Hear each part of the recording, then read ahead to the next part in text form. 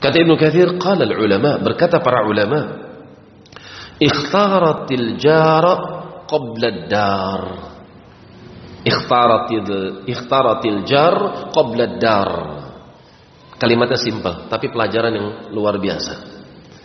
Wanita yang sangat brilian. Wanita yang amat jenius.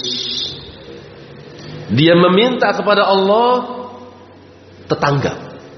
Sebelum dia minta kepada Allah rumah. Apa tetangga di sini maksudnya? Huh? Ya Allah, jadikan aku makhluk yang paling dekat dengan Engkau. Seolah-olah tetanggaan. Ya enggak?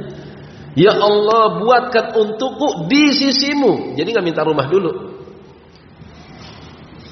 Jadi diartikan oleh mereka para ulama, beliau minta seolah-olah menjadi tetangganya Allah, dekat sekali dengan Allah.